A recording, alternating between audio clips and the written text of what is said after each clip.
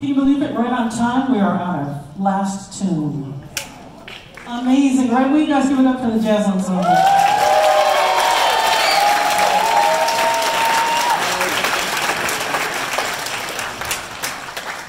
We're so thankful to Berkeley High School for building us the most beautiful new classroom uh, wing and uh, for all their support of the arts. It's not just in the music department, it's everywhere at Berkeley High School. There's just a real love for young people expressing themselves. And, uh, and it, so it's woven throughout our community.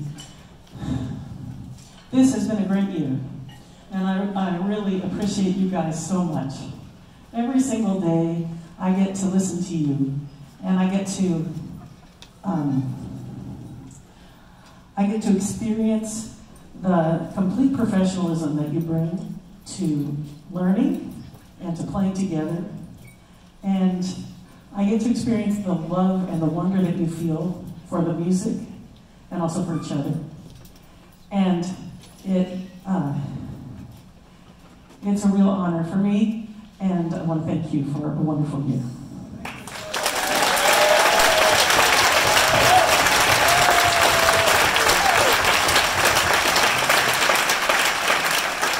At the end of this, we get to take everything on this stage, except for like some of these, uh, some of the things that belong to Mauricio. We get to take them back to our beautiful new classroom. How many of you haven't seen the A building yet?